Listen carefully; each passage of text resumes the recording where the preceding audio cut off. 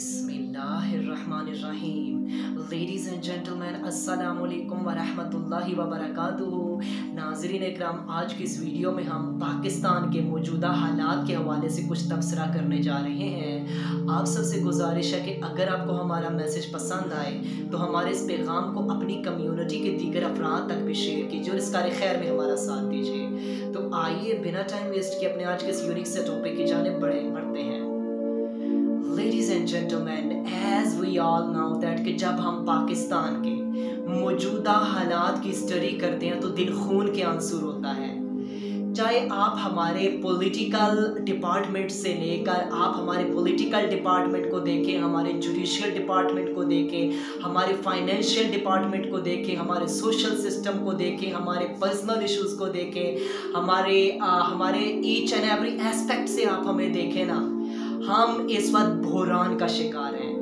ہمارا each and every department downfall کا شکار ہے۔ اور ساری دنیا کے جو مظالم ہیں وہ ایسا لگتا ہے کہ ہمارے اوپر ہی آ کر ٹوٹ پڑے ہیں۔ ایچ اینڈ ایوری وے سے کرائزز کے منہ ہمارے اوپر کھلے ہوئے ہیں اور ہم اس وقت ہر طرف سے پس رہے ہیں۔ ہمارا ہر ہر طبقہ زوال کا شکار ہے۔ ہمارا ہر ہر طبقہ بحران کا شکار ہے۔ ہمارا جو اس وقت پوری دنیا کا باطل ہے کچھ ایسا محسوس ہوتا ہے کہ ہم اس کے نشانے پر ہیں۔ نیز آپ ہر ہر ڈپارٹمنٹ کی اسٹڈی کریں، ادھر ہی ہمیں مار پڑ رہی ہے اور ہم قسمہ پرسی کا شکار ہو چکے ہیں۔ جب آپ ہمارے ڈاؤن فالز ہمارے ملک کے ایچ اینڈ ایوری ڈپارٹمنٹ کے جو کرائزز چل رہے ہیں، ہمارے جو اس وقت حالات چل رہے ہیں، جب آپ ان کی اسٹڈی کرنے لگتے ہیں، آپ ان کے پیچھے فیکٹرز کی اسٹڈی کرتے ہیں کہ وہ کون سے عوامل ہیں۔ جن کی وجہ سے آج ہم اس نہج پر پہنچے ہیں۔ تو آپ دیکھیں، آپ ون بائی ون سٹڈی کرنا شروع کر دینا۔ آپ دیکھیں، آج ہمارے اوپر جو ایسی لیڈرشپ مسلط ہے، ہر ہر ڈپارٹمنٹ میں، ہر ہر شعبے میں جو نا اہل قسم کے لوگ ہمارے اوپر مسلط ہو چکے ہیں نا، جو کرپٹ تھرڈ کلاس قسم کے لوگ ہمارے اوپر مسلط ہو چکے ہیں۔ آپ دیکھیں ہمارے پولیٹیکل ڈپارٹمنٹ کو دیکھ لیں۔ اس کی تباہی، اس کی پسماندگی، اس کے زوال کی وجہ یہی ہے کہ ہم نے اپنے آپ کو ایک تو ماڈرن پرنسپلز جو ہیں، ان کو ہم اسلامک اس پرنسپلز کے مطابق حل نہیں کر سکتے۔ ماڈرن چیلنجز کو ہم اسلامک پرنسپلز کے مطابق حل نہیں کر سکتے۔ اور دوسرے نمبر پر سب سے امپورٹنٹ چیز یہ ہے کہ ہماری پولیٹکس پر قرآن و سنت کا سایہ نہیں ہے۔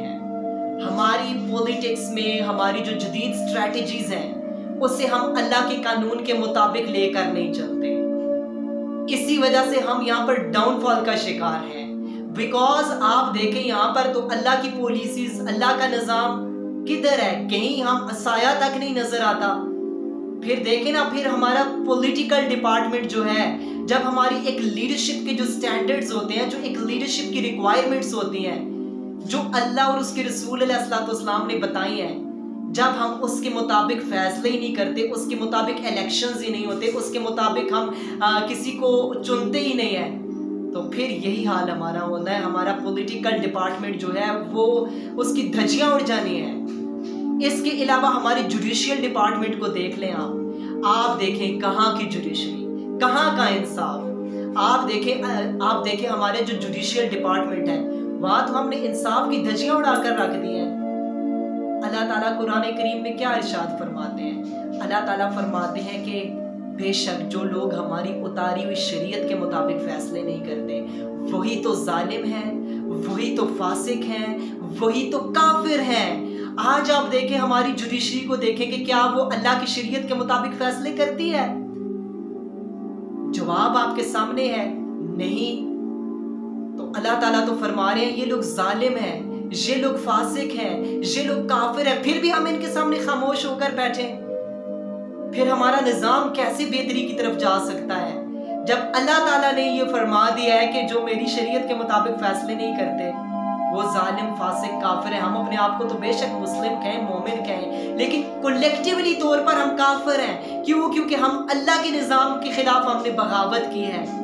جب سے پاکستان بنا ہے نا ہم نے تو وعدہ کیا تھا کہ اے اللہ ہمیں ایک ریاست عطا کر، جدھر ہم تیرے پرنسپلز کے مطابق ہم جدید مسائل کا حل نکال سکیں، قرآن و سنت کے مطابق ہم ایک ریاست کو بنائیں۔ ہم نے تو کہا تھا کہ اللہ تیرے نظام کو قائم کریں گے، لیکن نہیں۔ آپ دیکھیں نا ستر سال ہو گئے، کیا پاکستان میں اللہ کے نظام کو قائم کیا ہے؟ پھر یہی حال ہونا ہے۔ اللہ کی طرف سے ہمیں سزا ہی ملنی ہے۔ ہمارے اوپر ایسی قسم کے لیڈرز ہی آ کر مسلط ہوں اس کے علاوہ ہمارے فائنینشیل ڈپارٹمنٹ کو دیکھ لیں۔ آپ دیکھیں سودی نظام کے پنجوں میں جکڑا ہوا مالیاتی نظام۔ آپ دیکھیں آئی ایم ایف کے پنجوں میں جکڑا ہوا ہمارا مالیاتی نظام۔ ہمارا ہر ہر بچہ آئی ایم ایف کا مقروض، ہمارا ہر ہر بچہ عالمی اداروں کا غلام پیدا ہو رہا ہے۔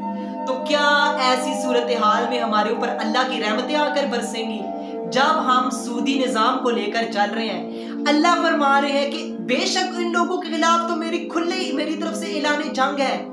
جب جس ملک کے خلاف اللہ نے اعلان جنگ کر دیا ہے، تو وہ ملک اس پر اللہ کی رحمتیں آئیں گی، وہ ملک دنیا کی قیادت کے لیے تیار ہوگا۔ کیسے؟ جب اللہ نے ہی کہہ دیا ہے کہ ایسے لوگوں کے خلاف، ایسے ملکوں کے خلاف تو میری طرف سے کھلا اعلان جنگ ہے، تو پھر اللہ کا اعلان جنگ ہمارے خلاف ہو چکا ہے۔ اس وقت ہم اللہ سے جنگ کی حالت میں ہیں۔ پھر کس طرح ہم ہم ہم ترقی کی طرف جا سکتے ہیں؟ پھر ذلت اور رسوائی ہمارا مقدر بننی ہے۔ پھر آپ ہمارے فائنینشیل ڈپارٹمنٹ کی مزید گہرائی میں اسٹڈی کریں۔ اوپر سے لے اوپر کے لیول سے لے کے نیچے کے لیول تک۔ Each and everywhere corruption ملاوٹ دھوکہ دہی دھوکہ دہی ہیر پھیر جھوٹ ایچ اینڈ ایوری تھنگ آپ کو ہمارے فائنینشیل ڈپارٹمنٹ میں نظر آئے گی۔ ہماری ادویات تک پاک نہیں رہی، ہمارے کھانے پینے کی چیزیں پاک نہیں رہی۔ اس میں ملاوٹ، دھوکہ دہی، چیٹ بے مانی پھر ہم کس طرح ہمارے اوپر ہمارا بزنس سیکٹر ہمارا ملک کا بہتری کی طرف جا سکتا ہے؟ اس کے علاوہ پرسنل معاملات میں دیکھیں، ہمارے پرسنل لاز کو دیکھیں فیملی لاز کو دیکھیں۔ اللہ کے نظام کے خلاف بغاوت۔ ایک تو جوائنٹ فیملی سسٹم اوپر اس میں جو انصاف کی دھجیاں اڑا دی جاتی ہیں۔ جو اللہ اور اس کے رسول کے قوانین کی دھجیاں اڑا دی جاتی ہیں۔ اللہ ہی حافظ اس کا۔ آپ دیکھیں نا پھر کس طرح ہم اپنے گھروں میں، ہم اپنے خاندانوں میں کیا اللہ اور اس کے رسول کے نظام کے مطابق فیصلے کرتے ہیں؟ کیا ہم اپنے پرسنل معاملات میں، ہماری خوشی، غمی میں، ہم اپنے پرسنل ایشوز میں، ہم اپنے ایونٹس میں، اپنے کلچرز میں، اپنی غمی خوشی میں، اپنے شادی بیاہ میں اللہ اور اس کے رسول کے قوانینوں کو فالو کرتے ہیں؟ نہیں۔ پھر آپ ہمیں ایتھیکلی دیکھ لیں، ہمیں مورلی دیکھ لیں۔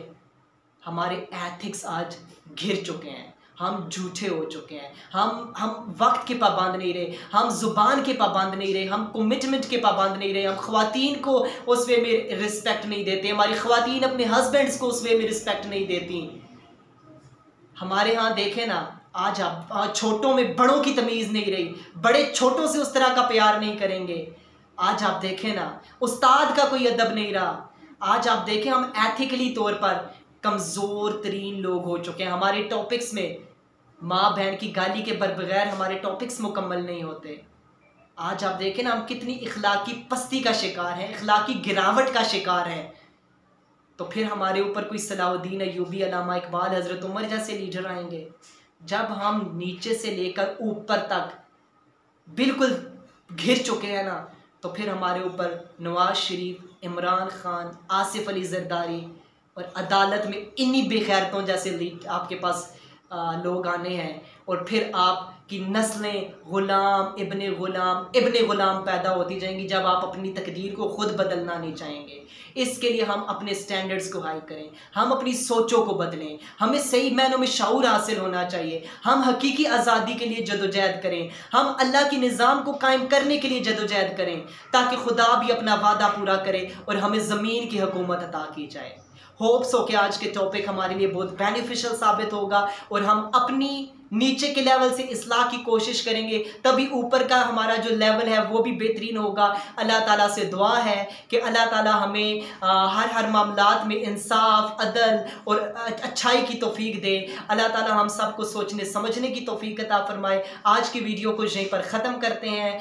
نیکسٹ ویڈیو میں مزید ٹاپک کو لے کر حاضر ہوں گے۔ تب تک کے لیے اللہ حافظ۔